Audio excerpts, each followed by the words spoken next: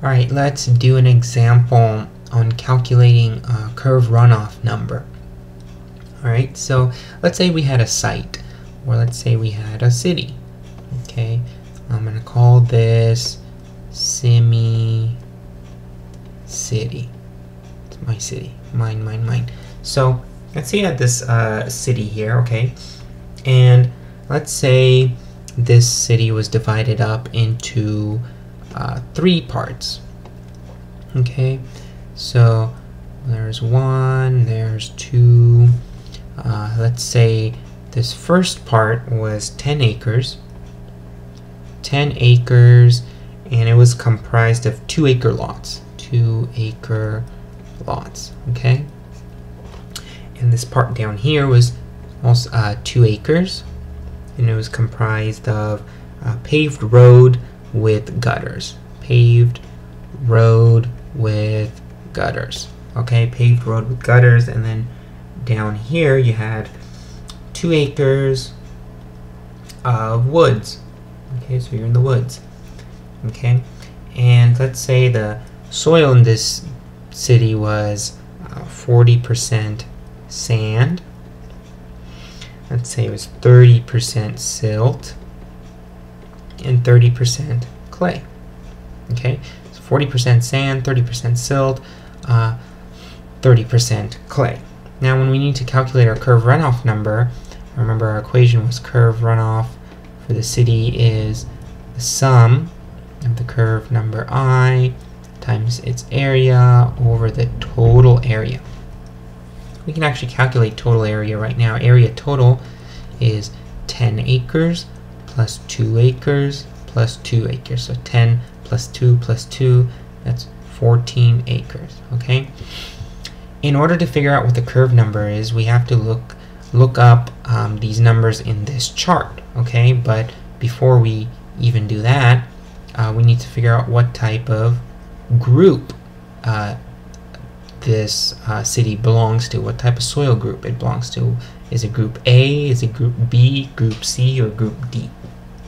Well, first let's figure out what the soil type is, okay?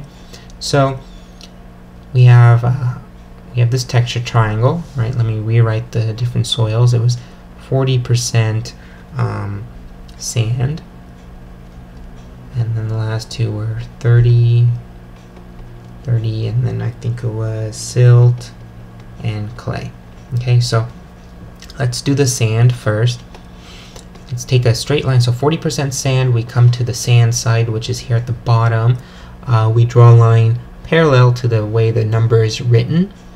Um, should look something like that. So there's 40% sand, then you have 30% silt. So silt here is on the right side. Uh, 30 is right here. You draw a line that's um, parallel to the way the uh, number is written. So that's 30% right there. And then finally you have 30% uh, clay, and clay is here on the left side. So you take a line, you draw it right there. Okay, and the soil seem to intersect uh, right, right here. Oh, right there. That's a tiny, tiny little dot right there. So that dot seems to land right here in clay loams. Clay loams. Clay loams. And if you remember, uh, clay loams belong to soil group, guess, guess, guess, C. Clay loams are in group C. Okay, so we know we have a group C soil. Okay, that gives us some useful information, right? So we need to calculate the curve runoff numbers for each of the, or we need to calculate the curve runoff number for the whole city, but we need to know the curve numbers for each of the areas. So uh, let's let's make a little chart AI and then the curve runoff number I. Okay, so for area 1 is comprised of 10 acres of 2 acre lots. So if we look at this chart, if we go down here uh, to residential average lot sizes, we have 2 acre lots and we assumed it's group C, so group C would be 77. Okay, so let's go back here. That's right, 77 there, and then we have this second area of um, paved road with gutters. Uh, there's two acres there. So we come to this chart, we look for paved road with gutter, which is right here. Paved road uh, with curbs and gutters, right? Storm sewers. And we come over here and we read that it's 98 for group C. Remember, uh, column 1 here is um, group A, you have column 2 is group B, then you have C and you have D. So it's 98. 98. And then finally you have two acre lots, two acre lots of woods. And then if you go to this chart, uh, or any one of your charts, uh, wood, woods would be right, right here. And there's three different um, hydrologic conditions, poor, fair, good. Since the problem didn't tell us what the hydrologic condition is, we can assume it to be fair. Okay, so fair. And it was group C, so curve runoff number is 73. So I'm going to write 73 here. Okay, so um, if we, let me actually move this.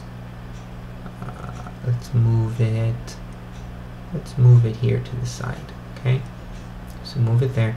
Um, our formula is Cn times AI, or Cni times AI. You add all those together, divided by the total area, and you should get your curve runoff number for the whole city.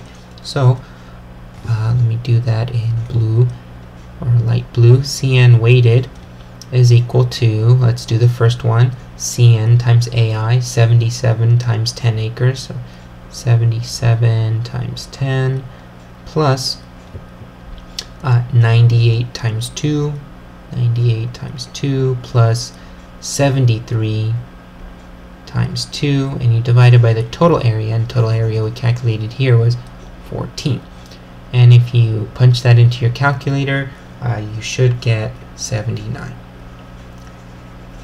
so the curve runoff number is pretty high not too high but it's relatively high. Uh, that means there's a pretty good chance of um, high runoff okay for Simmy City right so that was a quick example on how to uh, calculate curve runoff numbers using the soil uh, texture triangle and curve runoff number charts. All right